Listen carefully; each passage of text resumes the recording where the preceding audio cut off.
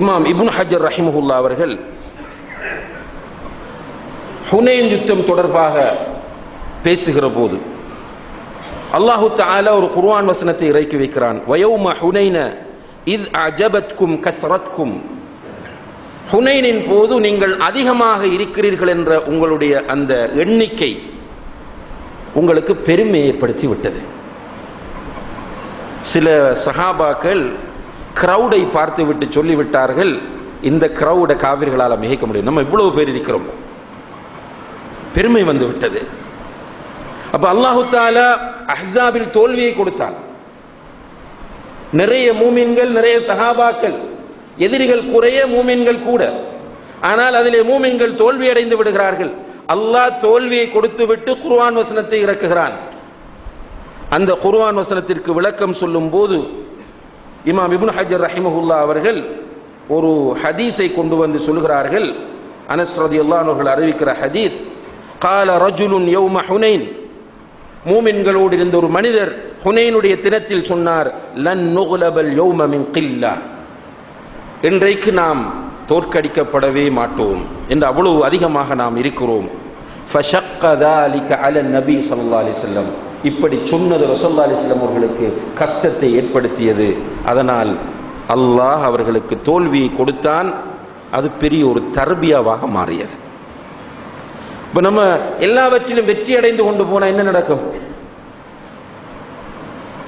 முஸ்லீம்கள் எல்லாவற்றையும் தலைமை தாங்கக்கூடிய வெற்றி அடையக்கூடிய நிலை உருவாகிவிட்டால் சும்மா சின்ன சின்ன வெற்றிகள் வந்தாலே மனிதன் செல்ஃப் கண்ட்ரோல் இழந்துட்டான். இந்த எலெக்ஷன்ல எல்லாம் பார்த்தோம். சின்ன வெற்றி இதில் என்ன வெற்றி இருக்கு ஆனா அந்த வெற்றி கிடைத்தவுடன் லஹவுல வலா குவத்த இல்லா பில்லா பட்டாசு வேணுமா எதிர் எதிர் கட்சியிலிருந்து போட்டியிட்டவர்களை தாக்க வேண்டுமா? மனம் பண் புண்படக்கூடிய முறையில் நடக்க வேண்டுமா? அறிக்கைகள் விட வேண்டுமா? தன்னிலை மறந்து கூத்தாடியதை நம்ம நேரடியாக பார்த்தோம். சில நேரங்களில் மெச் நடக்குது. அந்த மெச்சில் வெற்றி கொண்டாலேயே தன்னிலை மறந்து விடுவதை பார்க்கிறோம். இப்ப அல்லாஹு தஆலா இந்த சோதனைகளை ஏற்படுத்தி ஒரு பக்குவத்தை தருகிறான். தர்பியா. ஆக மொத்தத்திலே கண்ணியத்திற்குரிய சகோதரர்களே இந்த சோதனைகளின் பின்னணியில் அல்லாஹ் நலவை தான் வைத்திருக்கிறான். நம்ம எவ்வளவுதான் முயற்சி செய்தாலும் எவ்வளவுதான் போராடினாலும் உலகம் அழியும் வரைக்கும் சோதனை இருந்து கொண்டே இருக்கும். உலக அழிவு நெருங்க நெருங்க டிஃப்ரெண்டான சோதனைகள் வரும். மறுமை நாளுடைய அடையாளங்களை எல்லாம் பாருங்கள். குறிப்பாக பத்து அடையாளங்கள். பத்து அடையாளமும் பெரிய சோதனைகள். தஜ்ஜாலுடைய சோதனை. கூட்டத்தினுடைய சோதனை. பெரிய ஒரு படை அவர்கள்.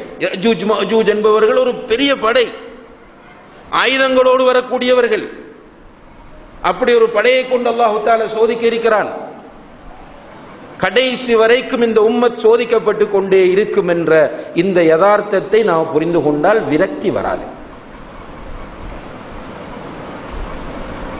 இன்றைக்கு சும்மா பிடிச்சி உணர்ச்சி வசப்பட்டு தாறுமாறாக அறிக்கைகள் விடக்கூடியவர்கள் மற்றவர்களை உலமாக்களை காபிராக்கக்கூடியவர்களை எல்லாம் பார்க்குறோம். சில இளைஞர்கள் கோபம் வருது. கோபம் வரத்தான் செய்யும். நம்முடைய சகோதரர்கள் சின்ன குழந்தைகள் நூற்றுக்கணக்கில் அப்படி கொலை செய்யப்படும் போது உயிருக்கு போராடி கொண்டிருக்கிற காட்சிகளை பார்க்கும்போது கோபம் வரும் ரத்தம் கொதிக்கும். ஆனால் நம்ம இந்த உலகத்தில் படைக்கப்பட்டது சோதனைக்காக. அதுவும் ஒரு சோதனை. அந்த சோதனையின் போதும் நிலை தடுமாறி விடக்கூடாது பொறுமையாக இருக்க வேண்டும்.